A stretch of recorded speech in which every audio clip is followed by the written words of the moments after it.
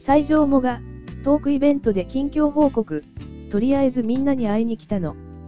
このイベントは、西条が自身を応援してくれているファンに近況報告をしつつ、久しぶりのトークを楽しむために企画されたもの。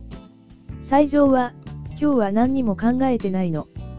とりあえずみんなに会いに来たのと話し、好きなネットゲームについて熱弁したり、飼い始めた猫が懐かないというファンに細かいアドバイスをしたり、ステージを飛び出して赤ちゃんをあやしたりと、友達に語りかけるようなフランクさでファンとの交流を楽しんだ。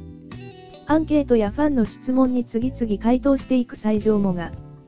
アンケートやファンの質問に次々回答していく最上もが、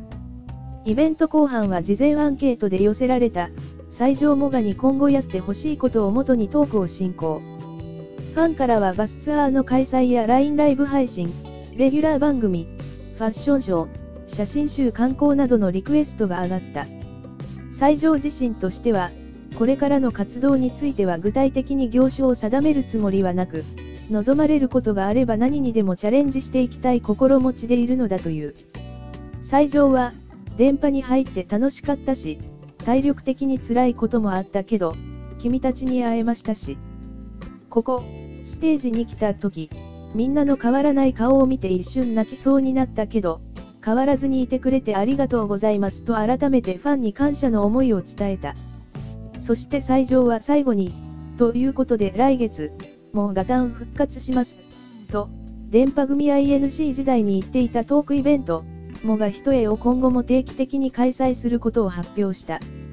まずは12月26日、東京、MT ライニエルホール渋谷プレジャープレジャーでソロ第1玉の、もが一重を行い、今後は月に1回のペースで開催する予定だ。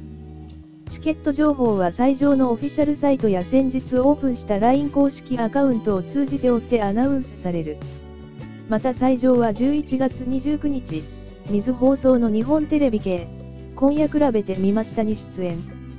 ひたすらネットゲームをやっていたという近況と自宅での様子が紹介されるとのことなので、ファンは放送を楽しみにしておこう。